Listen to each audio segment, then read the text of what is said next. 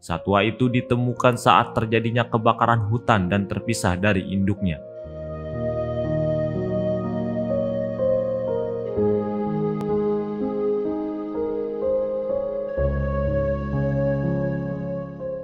Sebuah video yang menampakkan sebuah perpisahan antara sepasang manusia dengan seekor satwa liar dilindungi siamang atau hewan yang memiliki nama Simpalangus syndactylus tersebut viral di media sosial.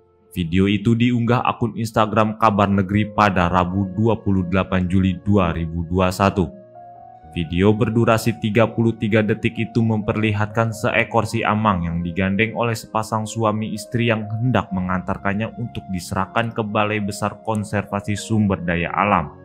Dalam postingan tersebut, pengunggah menuliskan sebuah perpisahan seekor siamang betina bernama Umang dengan sepasang manusia di ujung batu Rokan Hulu.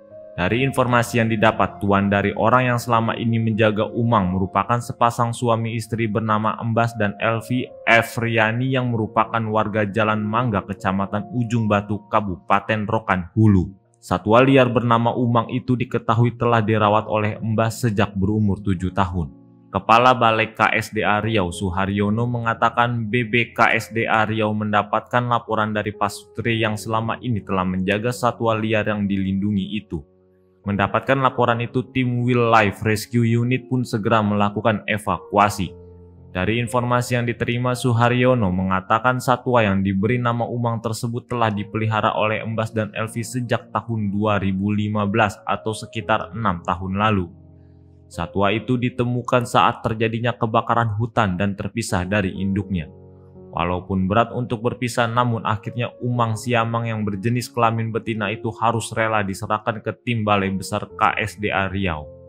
Demikian berita update terkini dan nantikan update berita lainnya hanya di kanal YouTube tribunbanten.com. Jangan lupa subscribe, like, komen, dan share.